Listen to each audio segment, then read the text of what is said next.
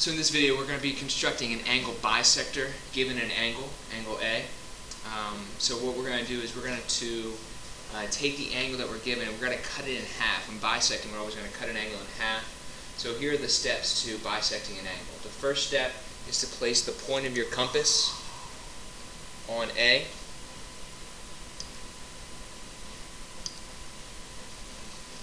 And then go ahead and draw an arc that intersects both sides of the angles. This is very similar to when we copied an angle.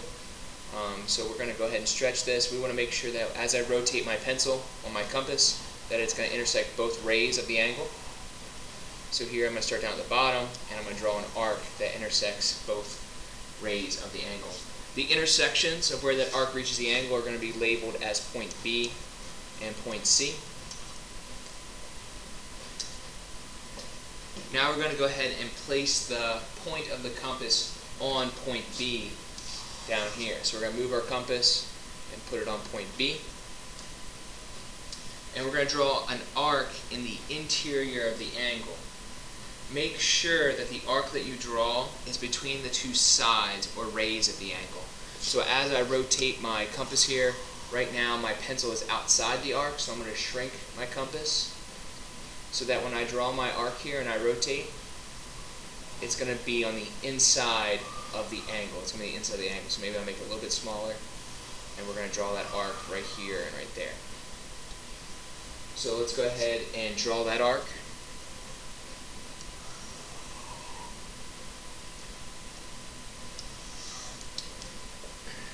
Without changing the width of the compass, let's go ahead and place the point of my compass on point C.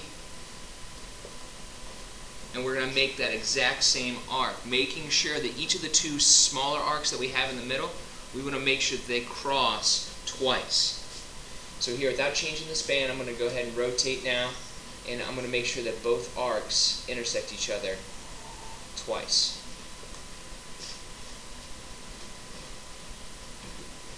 The intersection is going to be go ahead and be labeled G. So we're going to take the intersection here on the outside and label that point G. Now we're going to use our straight edge and draw a ray that goes through point A and through point G. Now because we intersected twice, there's a third point that we can kind of draw our line through. So as I take my straight edge, I can go ahead and kind of rotate this so that it goes through all three points right there.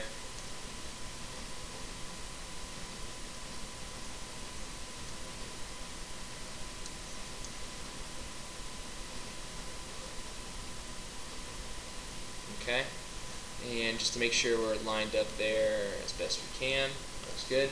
Now I'm going to go ahead and take my straight edge and draw a line going through those points.